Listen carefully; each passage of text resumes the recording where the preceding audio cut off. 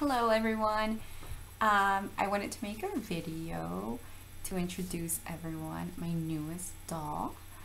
Uh, she was a Mother's Day gift that just arrived um, a few days ago.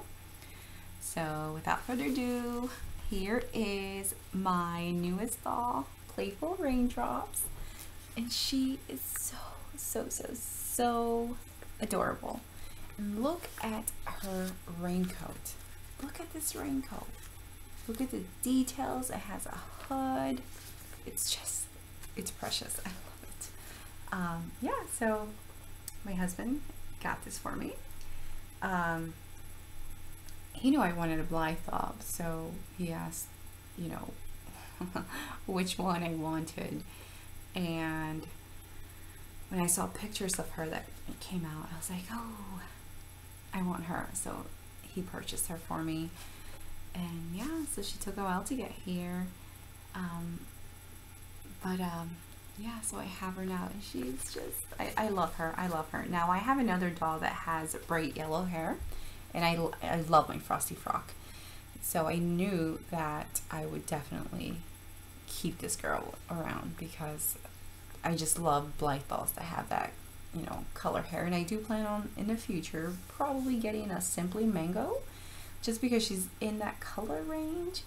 Um, because this doll now, her hair is a bit darker than my um, than my Frosty Frock, who has bright yellow hair. Now her hair is a little bit on the orange side, and that's okay because I like it. Um, yeah, so here is her raincoat, and she comes with a little uh, elastic headpiece. So let me take off her coat so you guys can see her dress. Okay, so here you go. Ah, it's just so precious. She looks so cute. So she's got um, magenta boots.